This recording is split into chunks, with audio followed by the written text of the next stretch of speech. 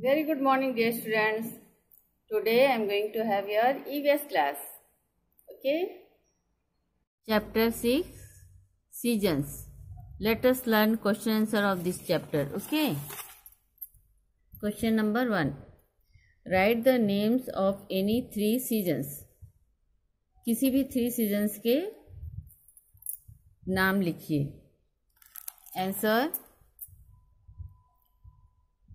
winter summer and monsoon next question how do we keep warm in winter winter में हम अपने आप को गर्म कैसे रख सकते हैं?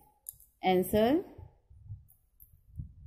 we wear woollen clothes to stay warm in winter winter में हम वुलन क्लोथ्स पहन के वुलन के ड्रेस पहन के अपने आप को गर्म रखते हैं. Next question what do people do to stay cool in summer summer के सीज़न में, गर्मी के समय में लोग अपने आप को कूल कैसे रखते हैं?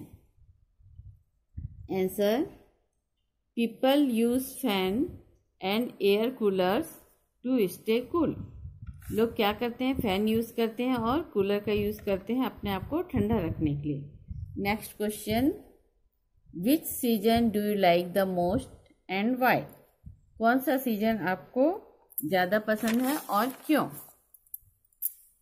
Answer I like spring season because the weather is very pleasant in spring spring वसंत ऋतु में कैसा होता है वेदर मौसम बहुत ही सुहावना होता है, इसलिए मैं स्प्रिंग सीज़न को पसंद करती हूँ। Okay you have to learn this chapter properly you have to write down question answer and learn it properly okay? All the best